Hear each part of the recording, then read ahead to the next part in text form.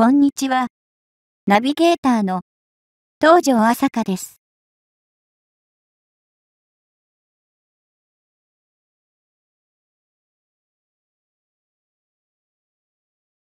現在、スサマ GF35A ステルス戦闘機の売り込みを米国は行っている。だが、それは、今も、なお西側諸国と言われる国のみ、米国との同盟国のみが、購入できる。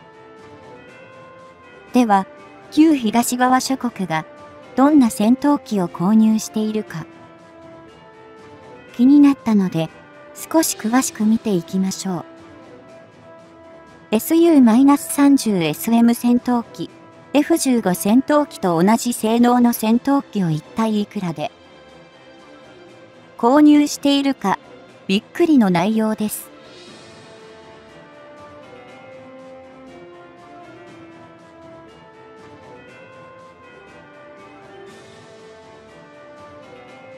一般論として多くの場合に少数よりも多数を一度に購入するケースの方が単価として見ると割安になることが小取引の原則セオリーとしては。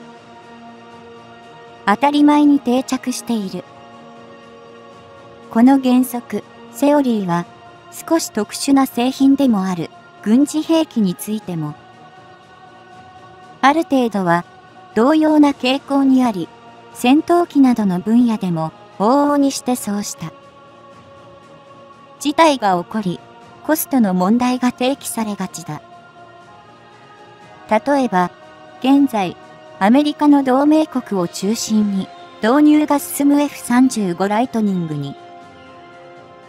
戦闘機では一国ごとの購入数ではないが、多数の国からの発注を受けて、生産ロットごとに機体本体価格は下落傾向にある。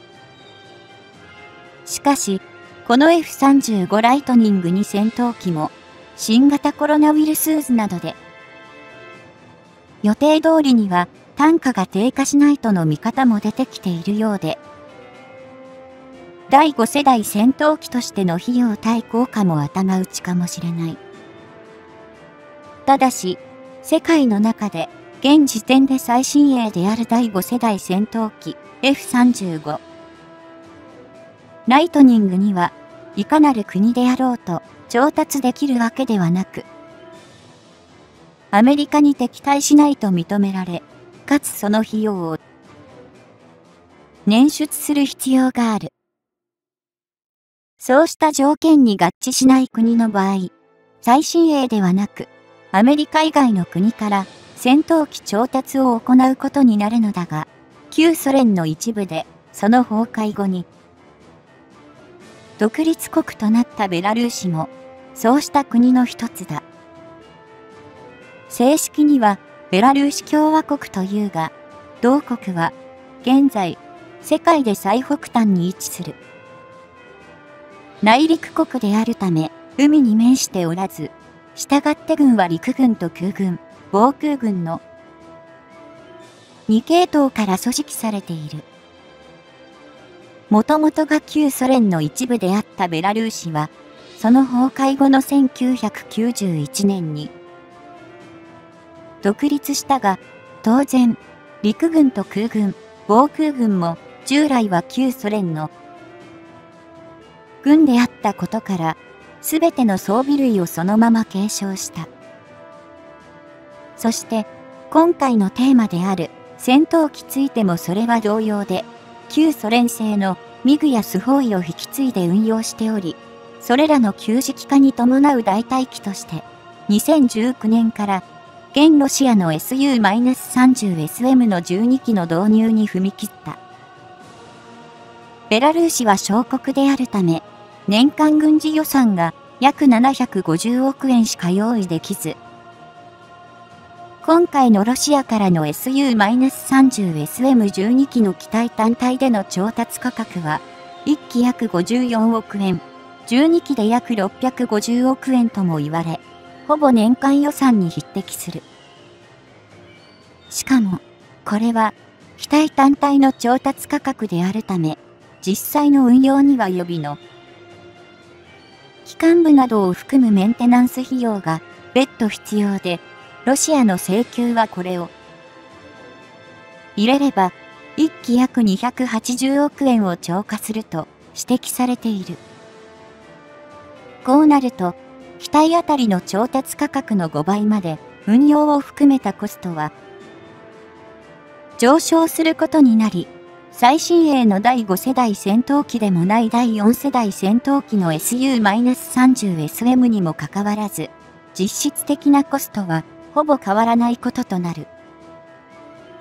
こうした傾向は、近年のロシアの戦闘機には特に顕著だとされており、アメリカをはじめとする西側諸国の戦闘機が機体単体と運用費用を含めたコストの比はおよそ2.5倍と考えられる点とは落差が激しい。SU-30SM の調達をめぐっては、そうした費用対効果の観点から、ベラルーシ国内からも西側諸国の戦闘機を購入した方が良かったとの声も聞かれるようだが、果たして購入は可能だったのだろうか。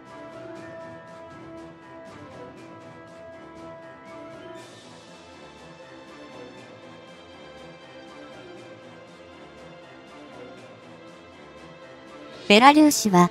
現在のルカシェンコ政権が1994年以来君臨し続ける。独裁国家であり、ウクライナ同様に、再び、同国を自国に組み込もうと、施行するロシアのプーチン政権とは対立する関係にある。しかし、一方で、依然として、軍備は旧ソ連ロシア製のものであり、現実的には戦闘機単体で仮に西側諸国のものを調達しようとしても、従来の兵装との連携が取れず、有効な運用が図れないように思える。また現在のルカシェンコ政権が倒れれば、ロシアの支配下に置かれることが、濃厚に想定されるベラルーシに対して、アメリカは、総安易には型落ちの、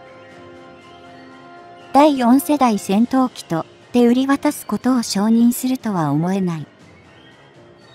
個人的には、こうしたベラルーシの政治的な状況を踏まえれば、西側諸国で、戦闘機を売買することを承認するとすればフランスしかなく、西側以外なら忠告しかないのではないかと思わざるを得ない。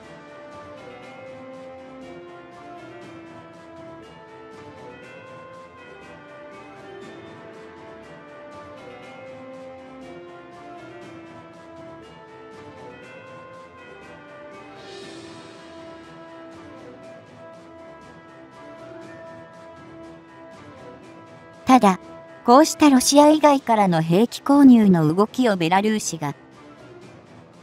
見せるようなことがあれば、ロシアのプーチン政権が黙って見ている。